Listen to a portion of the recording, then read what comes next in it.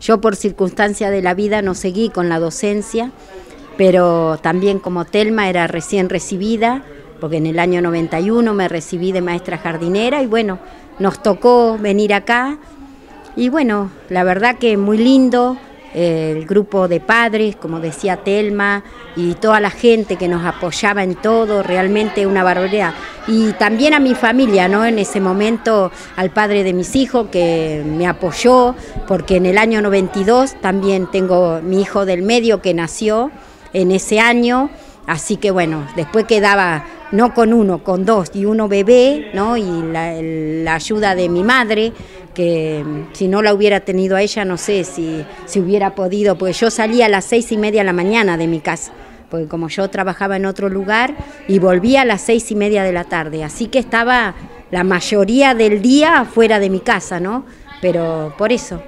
Y bueno, por circunstancia de la vida tuve que dejar porque ya no podía, pero bueno como ya del otro trabajo tenía más años y acá recién me iniciaba, bueno, opté por quedarme en el otro lugar, pero realmente que sí, que los reconocimientos eh, son muy lindos, es una emoción y ver a la gente y lo que ha crecido el jardín, ¿no? Y en su nueva instalación que tiene, muy bonito, pero es como decía el ministro, ¿no? Que todo empieza con una semilla y hay que regarla y hay que estar permanentemente para lograr y llegar a estas, a estas cosas ¿no? que hemos llegado hoy. Bueno, hoy el jardín está reluciente realmente, pero me imagino que en aquel entonces había... Eh, bueno, el intendente dejó entrever que eh, se puede empezar a pensar en que hay que ampliarlo porque evidentemente en algún aspecto ya está quedando chico y en buena hora que así sea. Pero en aquel entonces la cosa era muy distinta. Sí, era distinta. Eh, mi, mi, realidad es diferente que la de ellos porque yo empecé con Fernando como mamá. Yo soy mamá de Cintia Soto, una de las primeras egresadas. Y bueno, después eh, me anoté para auxiliar y me, gracias a Dios me tocó el cargo. Estuve 20 años en este jardín. En este no, porque primero estuvimos en la escuelita, en el jardincito al lado de la escuela y bueno, sí, pasé muchas cosas lindas y como dice Fernando, eh, hubo gente de afuera que nos apoyaba mucho también. Cuando se hacían las destrezas criollas éramos muy poquitos papás y teníamos gente como Hipólito Delgado, como Steinberge eh, y muchos más que por ahí no me voy a acordar que no tenían, eh, no tenían hijos, no eran padres de ningún chico acá ni, ni parientes y, y nos colaboraban, nos ayudaban y nos enseñaban.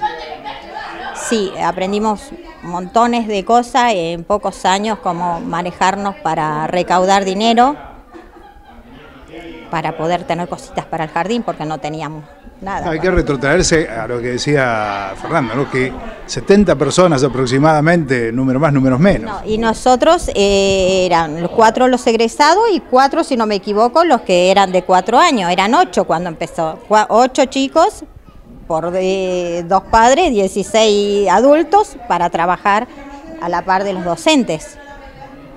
Que así que, y bueno, que así que nos ayudaba mucho la gente de afuera.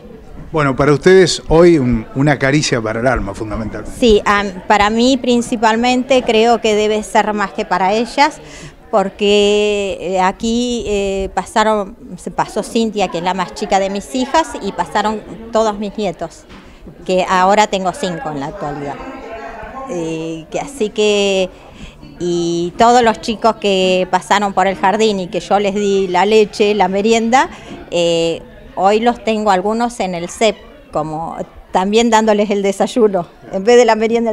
Para mí es, eh, es, muy loco todo, ¿no? O sea, sos como de la familia, varios de esos. Sí.